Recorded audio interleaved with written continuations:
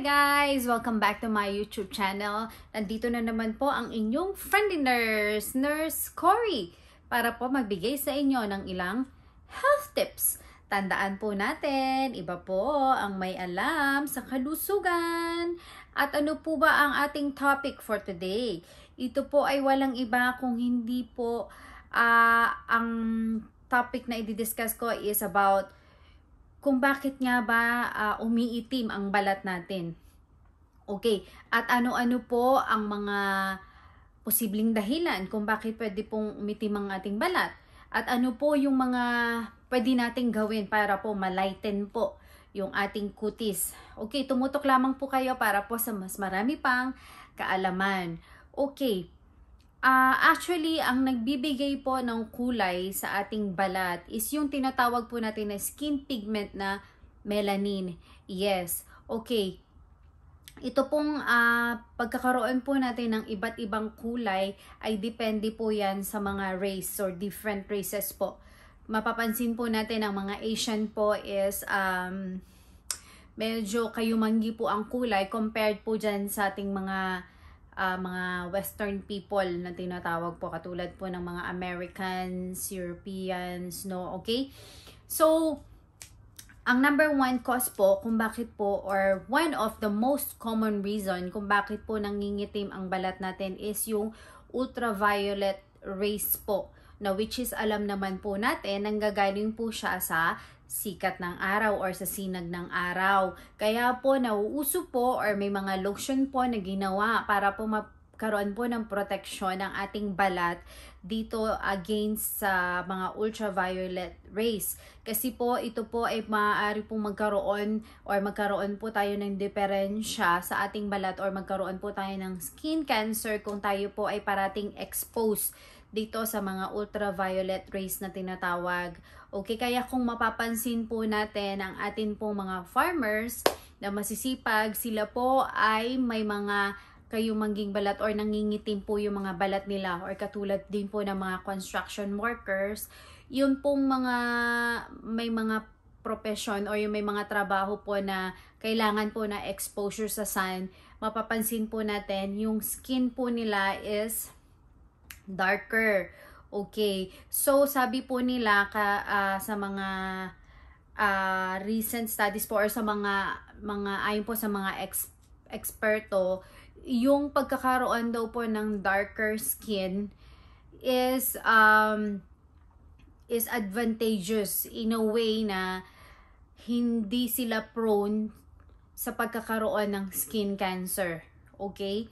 So, ano po ang iba pang mga dahilan kung ba bakit magka maaari po tayong magkaroon ng maitim na skin or yung nagda-darken po yung skin. So, yung meron po tayong mga tinatawag na iba't ibang dahilan or iba't ibang health conditions na maaaring makapagpaitim ng ating balat. So, kung napapansin nyo po ng inyong balat ay nagda-darken, at kung mayroon po itong mga kaakibat or mga kasamang ibang simptomas katulad po ng pagbaba ng inyong timbang, uh, parati po kayong pagod, padalas po kayong umihi, nanlalabo po ang inyong paningin, parati po kayong nauuhaw, wag pong mag-atubili na pumunta sa pinakamalapit na doktor or magpa-check up po kayo agad kasi napaka-importante po na ma-evaluate po yan or magkaroon po ng uh, thorough check-up ang inyong doktor para po malaman kung ano po ang dahilan ng pag-itim ng inyong balat. Especially po, hindi naman po kayo yung tao na mahilig mag-expose sa sun or hindi po kayo yung labas ng labas. Okay? So, go to the nearest uh, doctor po, have a check-up para po ma ma-rule out o para po malaman kung ano po ang problema. Okay, nauuso po sa panahon nito ngayon ang paggamit po ng glutathione. Okay, karamihan po sa uh, sa sa atin sa Pilipinas gumagamit po ng glutathione para po uh, pumuti po or para po ma-whiten po ang ating balat. Okay, ang glutathione po uh, ito po ay uh, mayroon po nito tayo sa ating katawan. Yung iba po nagpapa-inject ng glutathione para po mas madami pa po yung glutathione sa ating katawan. May magandang epekto po ito sa ating health sapagkat ito po ay nag-neutralize ng mga free radicals na which is alam naman po natin na ang mga free radicals ay nagkukos po ng cancer. Kaya po ang glutathione ay tinatawag na antioxidants. Okay?